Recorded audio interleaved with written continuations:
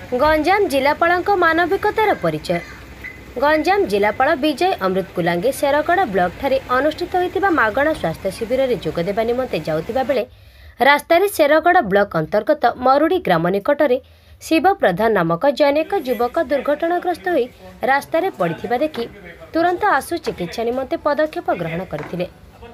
ଜିଲ୍ଲାପାଳ ନିଜେ ଗାଡ଼ିରୁ ଓହ୍ଲାଇ ଉକ୍ତ ଯୁବକକୁ ନିକଟସ୍ଥ ହିଞ୍ଜିଳିକାଟୁ ଚିକିତ୍ସାଳୟକୁ ନିଜେ ଗାଡ଼ିରେ ନେଇ ଚିକିତ୍ସା ପାଇଁ ବନ୍ଦୋବସ୍ତ କରିବା ସହ ପାଖରେ ରହି ସମସ୍ତ ପ୍ରକାର ବ୍ୟବସ୍ଥା ଗ୍ରହଣ କରିଥିଲେ।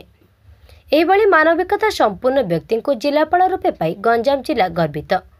ବ୍ୟୁରୋ ରିପୋର୍ଟ ଜିଲ୍ଲା ଖବର।